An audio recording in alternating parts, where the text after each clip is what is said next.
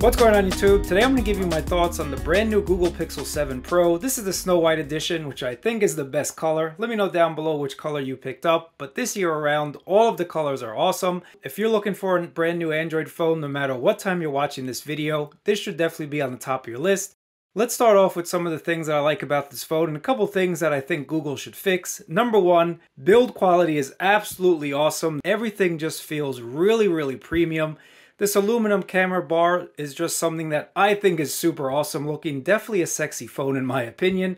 Like Justin Timberlake said, they're bringing sexy back and the 7 Pro is proof of that. It's just a nice way to, to kind of bring your attention to the camera bar and I think the horizontal layout is just something that's super, super premium looking. Now the only downside to aluminum, of course, is it is a soft material and I've seen people kind of post comments on it getting scratched up. Thankfully, I'm not about this naked life on phones. I always throw on a case, so if you do throw on a case, you're going to protect that camera housing for the long term. But no matter whether or not you choose to just use your phone as is or put a case on it, it's still still a beautiful, beautiful looking phone. The fit and finish is just awesome. Definitely feels premium when you put in the hand. And the weight distribution is on point as well, so it's not heavier on one side versus the other. Google just did an awesome job. Another thing that they did really well this time around is they fixed the fingerprint scanner. The 6 Pro had some issues with the fingerprint scanner just being a tad bit too slow, but this one has been improved and it's definitely definitely a step up from the 6 Pro. Another step up is Face Unlock. Now, Face Unlock looks really well. Let me look from behind the camera. It works about 100% of the time when you're in good lighting, but that's about it. If you're in a dim situation, if you're if you're out in the club doing your thing and you're trying to unlock your phone with your face, it's not going to work. You need optimal conditions for this to work, and that's just a little bit disappointing. I thought Google was going to wow us this year around and give us a more secure face unlock like what's found on the iPhone. I think that would have been a huge, huge step up. So here's looking at the 8 Pro. I think it's about time that all Android phones had a secure face unlock system. It unlocks your phone, and that's about it. You can't use it for mobile payments. You can't use it for online banking. Just unlocking your phone is not enough anymore. The panel has also been much improved. It gets up to 1500 nits and in direct sunlight. This is no problem looking at. You're never going to have a problem looking at your screen. So if you're watching multimedia like your favorite Jabbertech YouTube videos, you're going to be very happy with the screen. And it's an LTPO screen, which means it can drop down to 10 hertz to save battery life when it's not really needed to push that 120 hertz goodness. But it is a great screen. The blacks are black, the contrast is there, everything is there. So I really like this panel. And the speakers are nice as well. Let me give you guys a little bit of a listen weeks. On and off is my daily smartwatch. Battery life, fluidity, fun, fitness, all of that good stuff. Let's check out the Pixel Watch together, see what it's all about.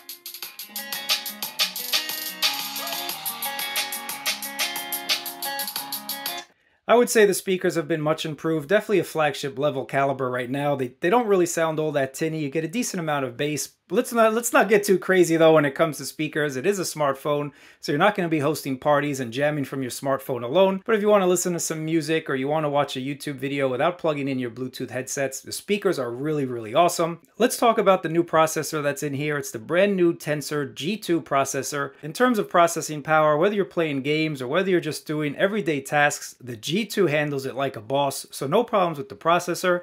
And the phone starts at 128 gigabytes and goes up to 512 and at the $900 price point for the starting range. This is an awesome, awesome device. It's definitely undercutting a lot of competitors out there. And I think for those of you that, that want a phone that just works, it's kind of like the iPhone of Android. Everything works flawlessly. And I think that's Google's intentions. They don't want you to customize it too much. They don't want to make it a little bit confusing for the average consumer.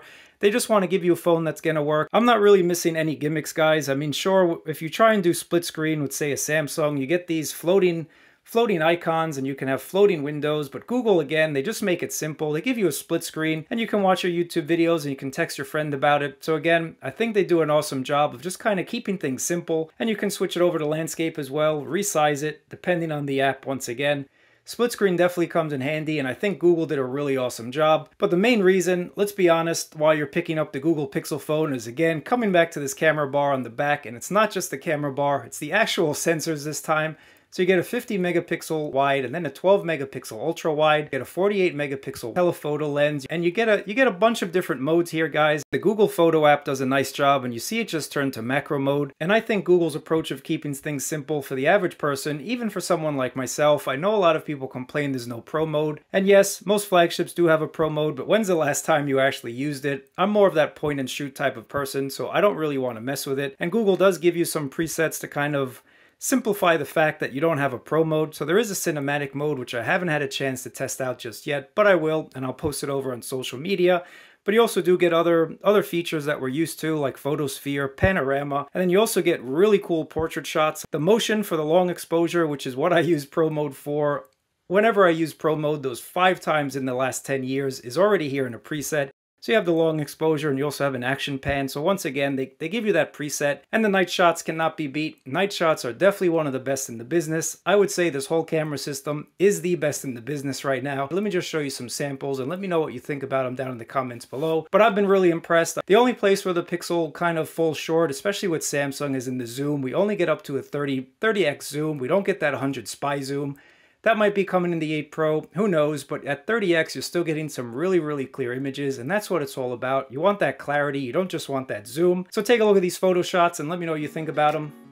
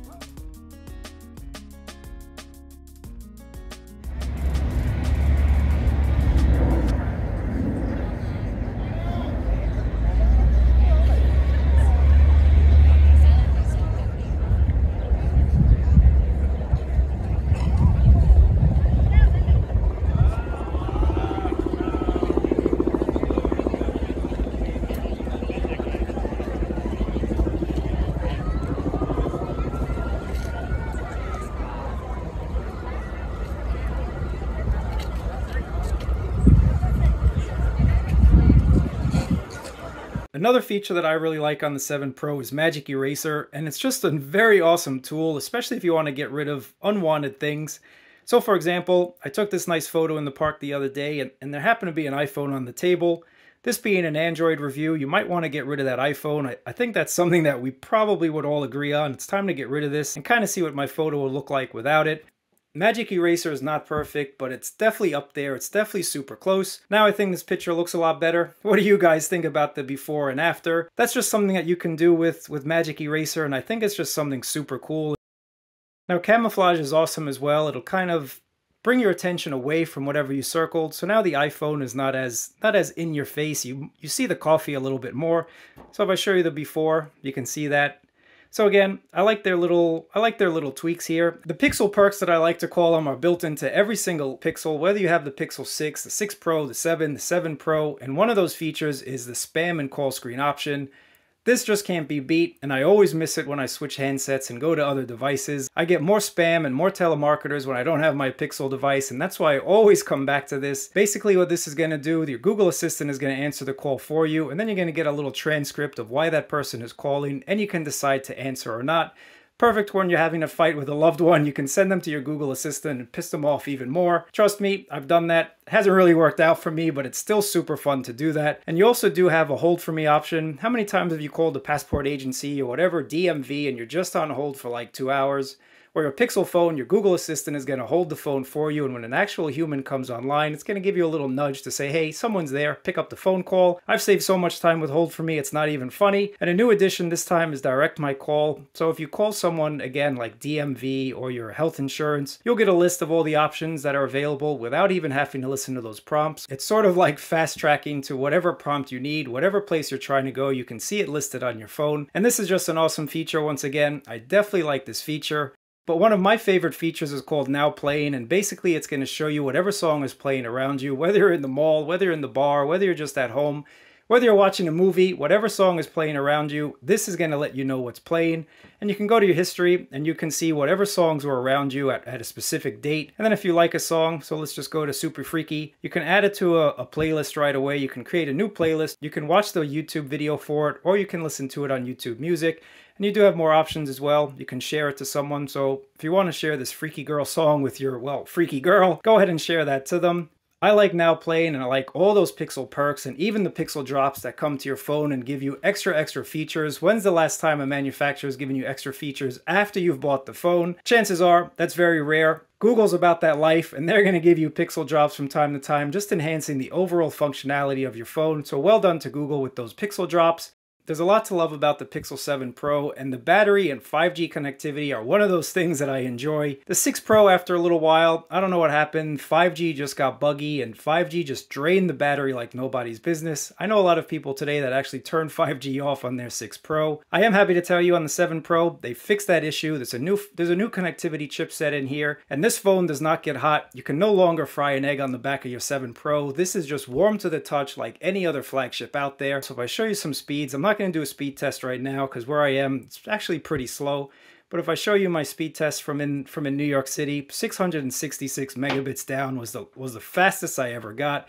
This phone is on par with other devices and it no longer takes forever to reconnect to service. The 6 Pro took a little while. If you came out of the subway, you'd notice sometimes it would connect, sometimes it wouldn't. This is just as fast as the 14 Pro, just as fast as my S22. So again, Google did the right thing. Google changed its chipset. You're probably wondering about battery life at this point, and I gotta tell you, battery's been very impressive on the 7 Pro, even on those even on those really heavy days where I'm taking a lot of videos and I'm taking a lot of photos and streaming music and YouTube in and trolling and doing all of these things, I was still able to make it through an entire day. If you're on the lighter side, sometimes we don't have all that much going on. We're not really using our phone all that much. You'll make it to a day and a half, or at least I have. Now again, battery life is subjective. Battery life depends on, on how strong your cellular connection is, what you're doing, your, your brightness and whatnot. I always leave mine on adaptive brightness. I'm usually never on Wi-Fi except where I am right now. Bluetooth's on all the time, location's on all the time. I like to use my devices as they were intended, so I leave everything on. NFC's on as well. So you're going to be very happy with this battery life. One place that I have to knock Google, and Google, I'm sorry, but charging speeds are just too slow for flagship specs, bro. This only charges at 23 watts at wired charging, and 23 watts wireless if you have the Pixel Stand 2. If you don't have a Pixel Stand 2, I believe it drops all the way to 12 watts, and that's just stupid slow. This is going to take almost two hours to fully charge, and in 2022, almost 2023, that's kind of unacceptable. Actually, that's more than unacceptable in my opinion. I think the Pixel 7 Pro should have some sort of fast charge, and I'm not not talking about warp charge like on the OnePlus. I'm not talking about anything like the Honor where it can charge in like 30 minutes from 0 to 100. I just want something a little bit faster. Give us like 45, 50 watts, something like that, and we'd be a little bit happier. So I, I knocked this phone just for the charging speeds. That's just something that I became accustomed to while using other devices in 2022 is just, just how long it takes to fully charge the 7 Pro.